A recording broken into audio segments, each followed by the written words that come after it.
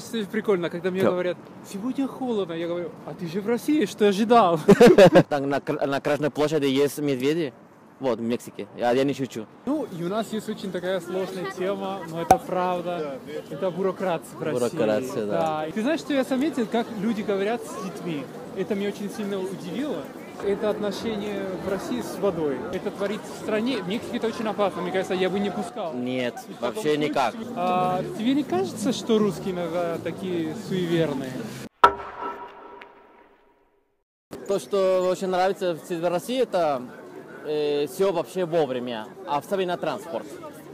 Я удивилась, удивился, когда я был первый раз в Санкт-Петербурге. Э, у меня было написано, что поезд э, уедет в 9.36. Да, такие четкое время. И именно в это время поезд нач- начался э, двигаться. Да, отправление поезда очень... Я на самом деле, а, как, наверное, вы знаете, латиноамериканцы, я лично страдаю с пунктуальностью. Я не знаю, как контролировать свое время, чтобы... Я, конечно, стараюсь не опаздывать, и очень сильно здесь в России мне помогло. Раньше была вообще другая история. Другая история, да. Да, но это круто, ребята, как вы настолько вот эта пунктуальность, это транспорт, все это невероятно и круто. И ты на самом деле можешь полагаться на транспорт здесь.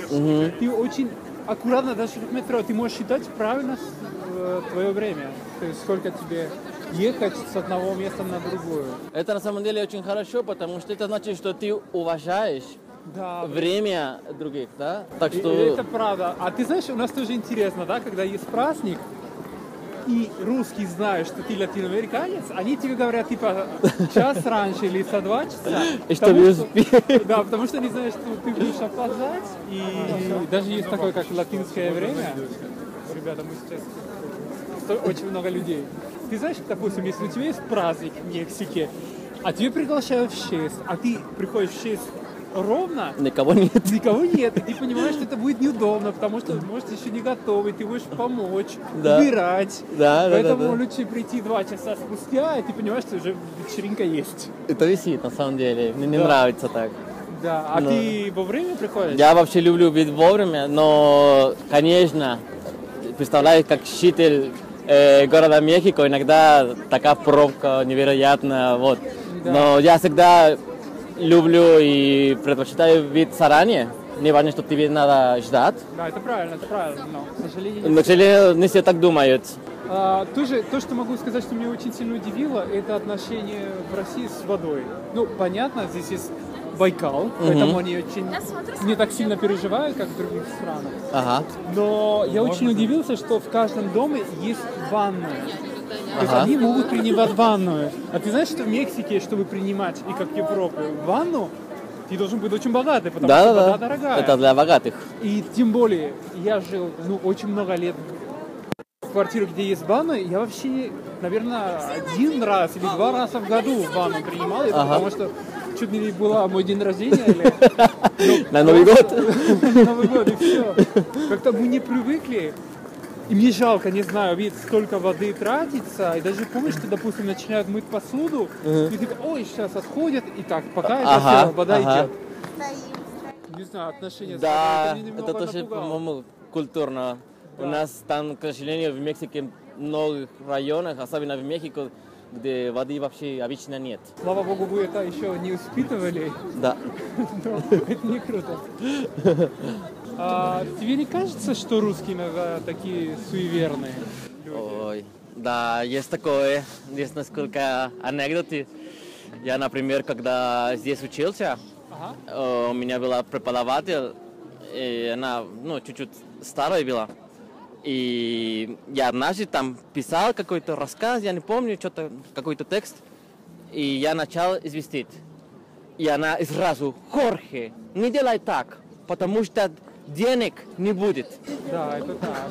И тоже, допустим, если сумку оставляешь на полу, ну, мне кажется, тоже так в Мексике. Да, Ну, есть- э, Я заметил чаще, да, и тоже э, мне очень нравится, если ты женщина и сидишь на краю стола, это значит, что мужа не будет. Ага. Если черная кошка пересекает дорогу, Ага. это значит неудача. И столько Если- таких вещей, Да. поэтому нет, ребята, пожалуйста. Если поставишь вот этот тетрадь под подушкой, это, ну, типа, значит, что у тебя бу- будет успехи в, на э, в экзамене. Наверное, узнули после. Наверное, это немного суеверно, но мне кажется, очень красивая традиция, что когда Какой? в России есть поездка, они должны пересесть Ага. перед поездкой, чтобы А, была да-да-да. успешно, мягкая посадка. Но это мне нравится, я признаю. Да, это мне да-да-да, очень нравится, это нравится. так- такой момент, как типа давай набираем силы и вперед. Особенно это круто, когда у тебя очень, длинный- Очень- длинная поездка. Ага. Это как-то, да, ну это прикольно, это мне нравится. Да. Честно, я сейчас делаю тоже. Ну, ты еще, скорее всего, русский. Я уч- То, что мне очень нравится в России, это что банки работают до 8, могут работать еще в воскресенье и субботу. Ага. В Мексике они обычно работают до 4, Четыре. и это как-то, типа, это для кого не работают банки? Потому что нормальные люди то- только заканчивают после 6, Ага. а здесь, ради бога, можешь в 8 и банк открыт. Это круто, на самом Это деле. очень круто. Ребята, хочу вам напомнить, что я учитель испанского, так что если вы хотите заниматься со мной, пожалуйста, пишите. Я подберу самый подходящий метод и вариант для вас. И у нас есть очень такая сложная тема, но это правда. Это бюрократия в России. Бюрократия, да. Да, иногда кажется, как будто все еще Советский Союз и столько бумага. Ребята, вы не представляете, когда я поступал в университет, когда ты не знаешь русский язык, и тебе просят, типа, и сделай этот документ, и этот документ, а потом тебе нужно печать, на печати, которая значит, Ага. что первый печать правильный, и подпись от человека, который подпись, и у вас есть одна бумага и три печати, четыре подписа, а потом бывает, что это один человек пошел, ушел в отпуск, и ты просто не можешь совершать какая-то процедура, если один человек отсутствует. Это, ребята, Это конечно, время теряешь вообще. да, это ужас на самом деле. Настолько важно, что все это пишут от руки иногда даже, да? Когда, ну, я понимаю, что сейчас гораздо проще, что есть Стало легче. цифровая форма, да, я понимаю, что это меняется, но Мгм. тем не менее я как-то жил это, и, конечно, это очень сложно, когда ты не говоришь по-русски. Да, вообще делать все такие процедуры, когда русский не знаешь, ты просто хочешь умереть. Да, мне сейчас мы открыли случайно очень интересный вопрос. Вообще, как-то жить в России без, без... Без русского это... Ты думаешь, как? Насколько тебе удобно? Нет, я думаю, у тебя не будет хор- э, хорошего времени, если ты русский не знаешь. Почему? Потому что здесь, особенно, я говорю про Москву. Я не знаю, вы в Санкт-Петербурге, но в Москве вообще ты должен говорить по-русски. Должен. Ты знаешь, что я заметил, как люди говорят с детьми? Это меня очень сильно удивило, что а, вроде бы может быть маленький ребенок, не знаю, трехлетний, и с ним разговаривают, как будто он уже взрослый человек. Типа, а что я тебе говорил, что я тебе сказал, веди себя хорошо. И ты знаешь, у нас, ой, Да. пуси-пуси, вот этот, не знаю, так ласковое. У нас такой глагол чекер. Но я не... Да-да-да, ты поговорить как надо. Наверное, это будет как баловать. Балуют очень сильно в Мексике детям. Отношение к детям здесь как-то более строгое, да? Как, Строгое. Типа, это твоя обязанность, ты это должен. И не так сильно балуют, как в Мексике. Мне кажется, тоже дети в каком-то степени здесь более независимые. Да. А, Я понимаю, что тоже это может быть связано с безопасностью, потому что в России ты можешь Ой, найти да. люди, которые маленькие, Маленькие. дети, уже которые катаются Гулять, в типа... метро Один, да? Да. Типа... без присмотра. Без родителей, на самом деле. Да, без родителей. Это, конечно, круто, что это творится в стране. В Мексике это очень опасно. Мне кажется, я бы не пускал. Нет, вообще никак. Свой ребенок. Да, это вообще не, такого не бывает. Ну еще, ребята, еще у нас э, другая тема, которая очень тоже интересная. А здесь в России все люди, либо почти все люди поют чай. Так. Поют? Пьют. Я-я-я. Спасибо. Спасибо. Ребята, мы должны признаться, что это как-то не очень обычно, что мы ходим кучу толпе на русском языке. Конечно, иногда смотрят, типа, что, они про нас говорят, что ли? Что здесь в России почти все люди э, пьют чай так часто, каждый день на самом деле. И, так, часов, и много раз. много раз. Ага. А э, честно говоря, в Мексике, я думаю, чай, конечно, существует, но, скорее всего, мы пьем больше кофе. Мне но- кажется, даже если они поедут в Мексику, может, они расчаруются, что не везде могут найти чай. Да, да, да, То да, есть ты да. можешь пойти в ресторан типа, ой, У нас- извините, у нас нет чая. Чая. И а, ты знаешь, я до сих пор не могу привыкать пить чай. И это на самом деле так сложно, потому что, представляешь, приходишь в гости к русским, чай будешь? Нет, спасибо, типа, что? Ну, Как он может отказаться? более-менее, как у нас в Мексике. Да, во-первых, ребята, вы когда пьете чай, это просто кипятком. То есть я думаю, что это было так смешно, потому что я с друзьями поехал в Маракеш, и там типа был такой шоу, как будто аля человек а, пьет кипящую воду из какой-то там было чайник. Ну, это кому ты удивляешь? России это все могут.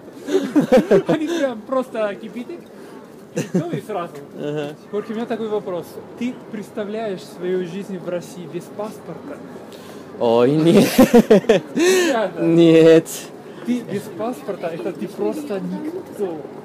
У тебя могут быть разные удостоверения, но все равно они работают. Для- Если повезло, может, но вообще не хорошая идея, мы вообще не советуем. Для, для самой элементарной вещей всегда нужен паспорт. Да.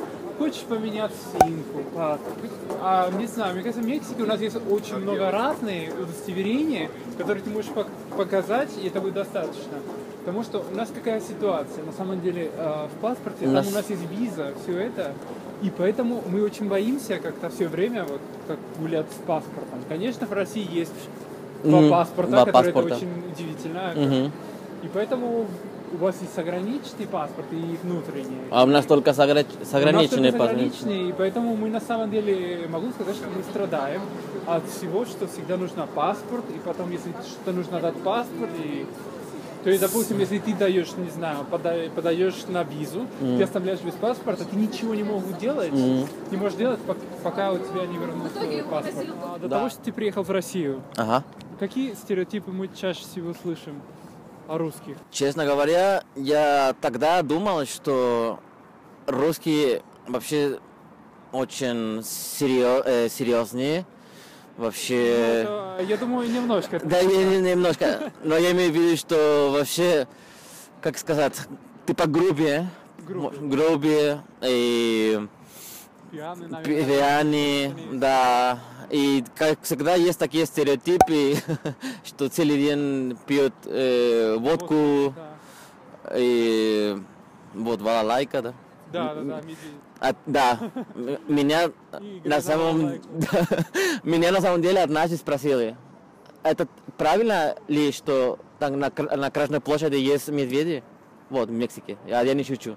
Правда? Да. Я хочу поговорить по поводу улыбку. Ага. Что люди здесь не улыбаются.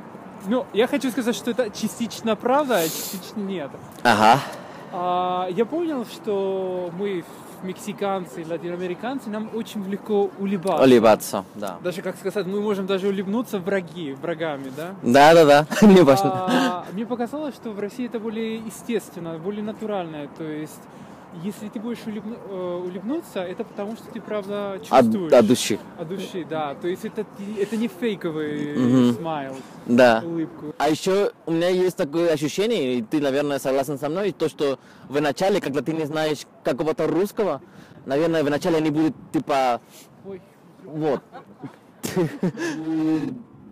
Типа, типа, типа серьезный, типа недружные. Но через некоторое время, наверное, они чуть-чуть от- начинают э, открываться себе, да? Типа, Да. Как сказать, мне кажется, для латиноамериканцев нас гораздо проще дружить. Что Да. типа, ты сразу, эй, друг, все это. Но я могу сказать, что когда человек тебя приглашает домой, русский, Мгм. это значит, что все, мы уже друзья. И ты знаешь, что, что мне очень понравилось привычка в России, что они, когда приходят в гости, они никогда не приходят с пустыми руками. Это мне очень нравится. Ага. Я могу сказать, что ну, мы как-то щедрые, но мне кажется, в этом плане русские более щедрые, чем мы. чем Латинская Америка, да? чем- Да, Да. ты. Да. Да, ребята, на улице холодно, как вы знаете. А ты знаешь, что прикольно, когда мне Да. говорят, сегодня холодно, я говорю, а ты же в России, что ожидал? Что будет тепло, как в Мексике, что будет палмы. Поэтому я никогда не расстроюсь, когда в России холодно, потому что это Россия. Это Россия? Это еще Так- Россия. Так и должно быть, Это. Россия, детка. Мы сейчас на мосту гуляем, правда, Москва это шикарный город, потрясающий, богатый.